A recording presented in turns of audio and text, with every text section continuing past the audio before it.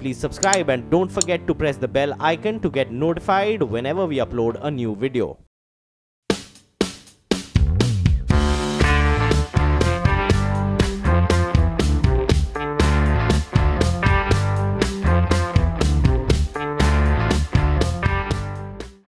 Gurugram's DTCP caps registration at rupees 15,000.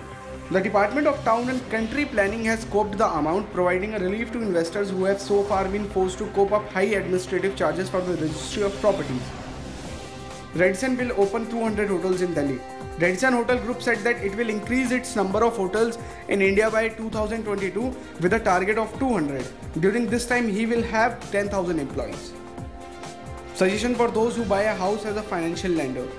A high level committee has suggested to the government that those who buy the house should be considered as financial lenders so that they can also participate in lending processes like banks, like financial institutions. SC wants commercial establishment razed in residential areas of Delhi. A bench of Justice Madan M. Lokur and Justice Deepak Gupta said it was going to spare small lenders that sell essential commodities like milk and bread in residential areas, but the big car showrooms Clothes showrooms, shops and restaurants which are operating without any fire safety norms in residential areas should have to go.